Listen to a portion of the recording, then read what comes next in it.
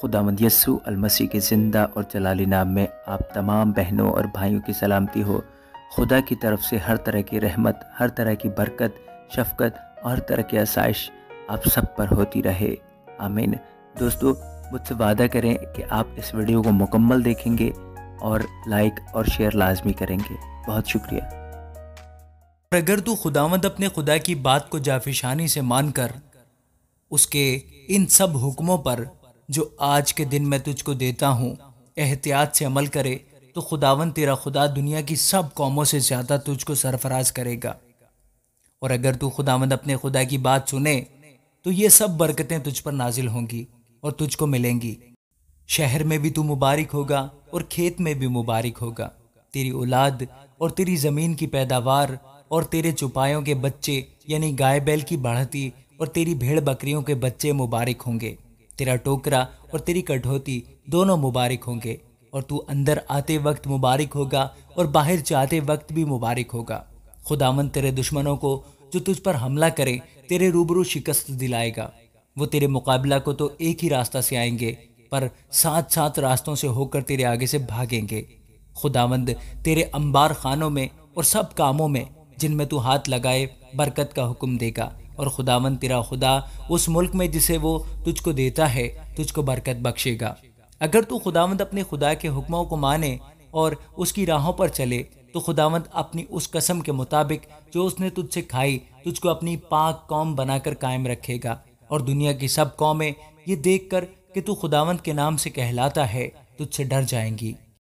और जिस मुल्क को तुझको देने की कसम खुदावंद ने तेरे बाप दादा से खाई थी, उसमें खुदावंत तेरी औलाद को और तेरे चुपायों के बच्चों को और तेरी ज़मीन की पैदावार को खूब बढ़ाकर तुझको बरोमंद करेगा। खुदावंद आसमान को, जो उसका अच्छा खजाना है, तेरे लिए खोल देगा कि तेरे मुल्क में वक्त पर मी बरसाए और वो तेरे सब कामों में, जिनमें तू हाथ लगाए, बरकत देगा और तू बहुत सी कौमों को कर्ज देगा, पर खुद कर्ज नहीं लेगा।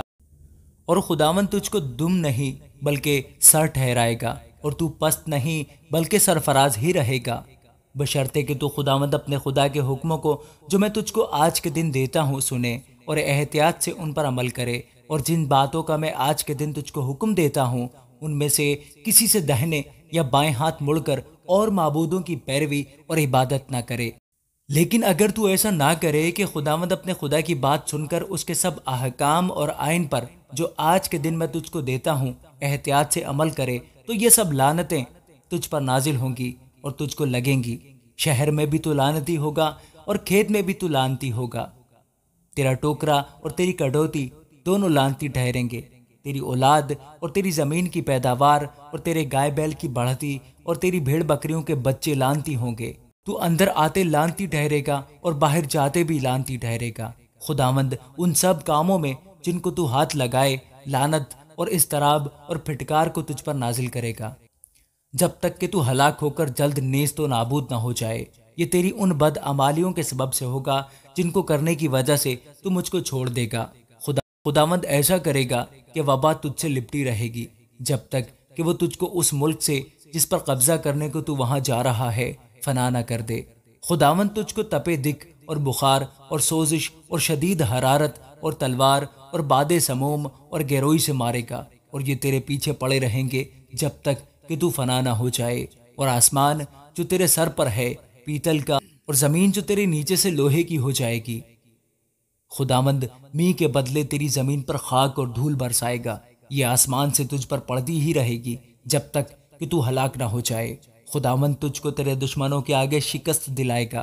तू उनके मुकाबला के लिए तो एक ही रास्ते से जाएगा, और उनके सामने से सात सात रास्तों से होकर भागेगा।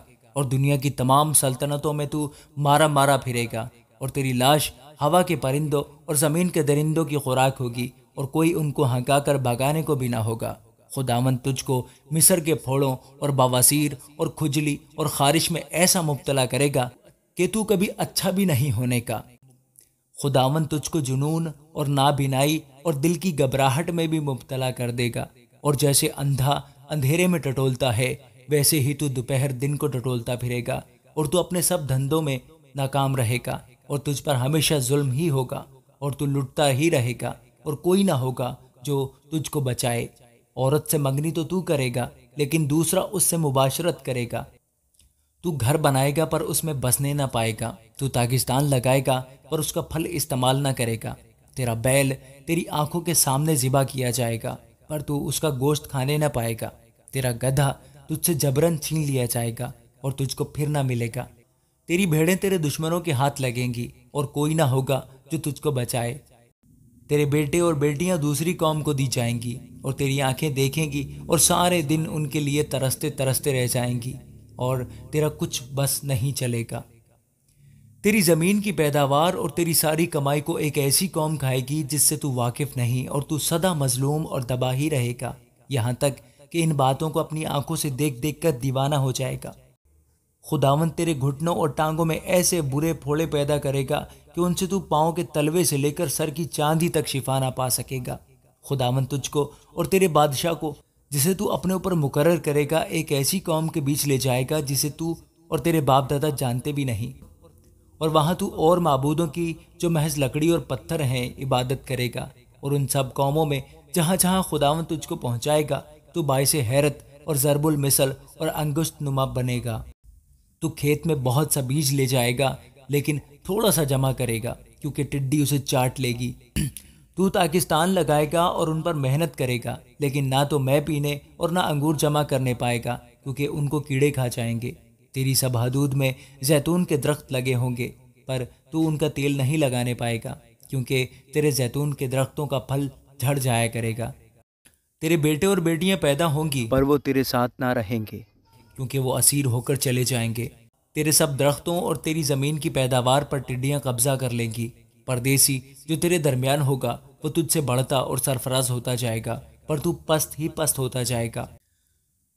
वो तुझको कर्ज देगा पर तू उसे कर्ज ना दे सकेगा। वो सर होगा और तू दुम ठहरेगा।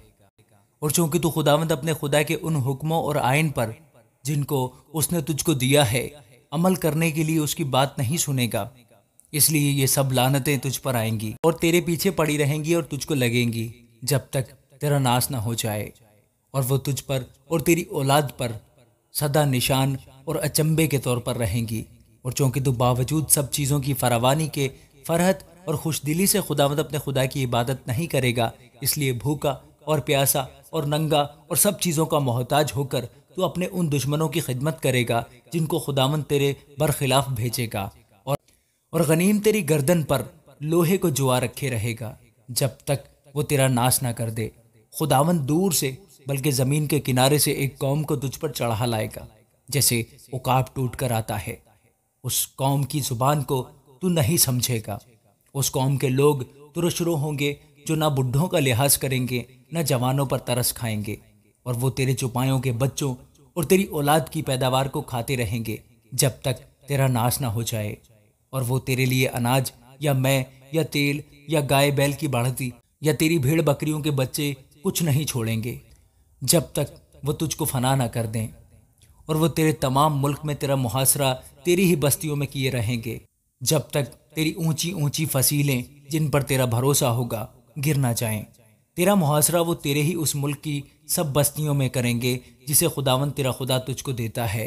तब उस मुहासरा के मौके पर और उस आड़े वक्त में तो अपने दुश्मनों से तंग आकर अपने ही जिस्म के फल को, यानी अपने ही बेटों और बेटियों का खून, जिनको खुदावन तेरे खुदा ने तुझको अता किया होगा, खाएगा। वो शख्स जो तुझ में नाज परवरदा और नाजुक बदन होगा, उसकी भी अपने भाई और अपनी हम आगोश बीवी और अपने बाकी मादा बच्चों की तरफ़ पूरी नज़र होगी। यहाँ तक कि वो इनमें से किसी को भी अपने ही बच्चों के गोश्त में से जिनको वो खुद खाएगा, कुछ नहीं देगा। क्योंकि उस मुहासरा के मौका पर और उस आड़े वक्त में जब तेरे दुश्मन तुझको तेरी ही सब बस्तियों में तंग कर मारेंगे तो उसके पास और कुछ बाकी ना रहेगा। वो औरत भी जो तुम्हारे दरमियान ऐसी नाजुक परवरदा और नाजुक बदन होगी कि नरमी और नज़ाकत के सबब से अपने पाँव का तलवा भी ज़मीन पर लगाने की ज़रूरत ना करती होगी। उसकी भी अपने पहलू के शोहर और अपने ही बेटे और बेटी और अपने ही नौजाद बच्चे की तरफ़ जो उसकी रानों के बीच से निकला हो, बल्कि अपने सब लड़के बालों की तरफ़ जिनको वो जनेगी बुरी नज़र होगी, क्योंकि वह तमाम चीज़ों की किल्लत के सबब से उन्हीं को छुप छुप कर खाएगी।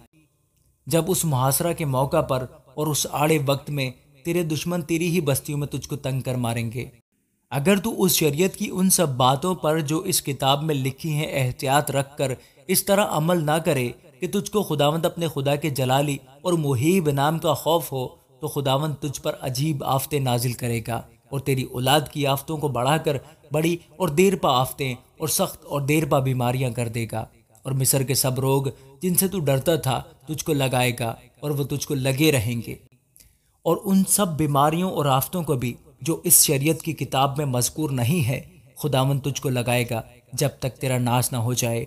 और चूँकि तू खुदावंद अपने खुदा की बात नहीं सुनेगा, इसलिए कहाँ तो तुम कसरत में आसमान के तारों की मानद हो और कहाँ शुमार में थोड़े ही से रह जाओगे। तब ये होगा कि जैसे तुम्हारे साथ भलाई करने और तुमको बढ़ाने से खुदावंद खुशनुद हुआ, ऐसे ही तुमको फरा कराने और हलाक कर डालने से खुदावंद खुशनुद होगा। और तुम उस मुल्क से उखाड़ दिए जाओगे जहाँ तू उस पर कब्जा करने को जा रहा है। और खुदावंद तुझको ज़मीन के एक सिरे से दूसरे सिरे तक तमाम कौमों में परागंदा करेगा। वहाँ तू लकड़ी और पत्थर के और मबूदों की, जिनको तू या तेरे बाप दादा जानते भी नहीं, परस्तिश करेगा। उन कौमों के बीच तुझको चैन नसीब ना होगा और ना तेरे पाँव के तलवे को आराम मिलेगा, बल्कि खुदावन तुझको वहाँ दिले लर्जा और आँखों की धुंधलाहट और जी की कोड़हन देगा। और तेरी जान दुबदे में अटकी रहेगी और तू रात दिन डरता रहेगा। और तेरी ज़िंदगी का कोई ठिकाना ना होगा। और तू अपने दिली खौफ के और उन नज़ारों के सबब से जिनको तू अपनी आँखों से देखेगा सुबह को कहेगा कि ए काश शाम होती और शाम को कहेगा ए काश कि सुबह होती। और खुदावन तुझको कश्तियों में चढ़ाकर उस रास्ता से मिस्र में लौटा ले जाएगा जिसकी बाबत मैंने तुझसे कहा कि तू उसे फिर कभी ना देखना। और वहाँ तुम अपने दुश्मनों के गुलाम और लौंडी होने के लिए अपने को बेचोगे। पर कोई ख़रीदार ना होगा। आमीन।